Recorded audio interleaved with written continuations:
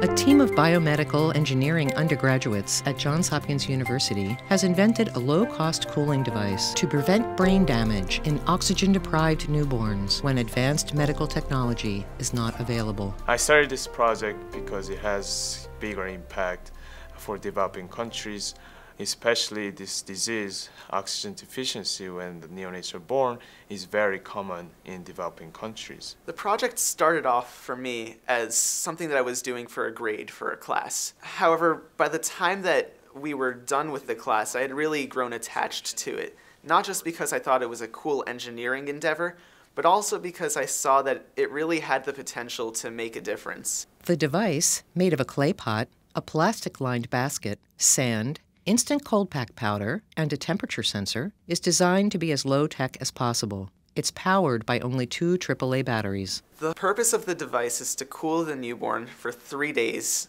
down to an inner body temperature of 92 degrees. We had to make sure to keep the electronics at a minimum and yet still make it easy to understand for the healthcare practitioner that's going to be using the device in the developing world? Well, potentially it could change the world by uh, reducing the incidence of cerebral palsy uh, in underdeveloped countries by approximately 40 percent.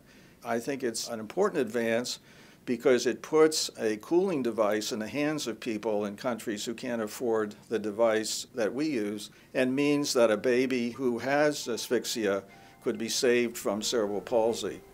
We can actually really cool down the neonates with the equal effect as the current technology available in the United States. And by simply having this device, it can actually change their life and change their future.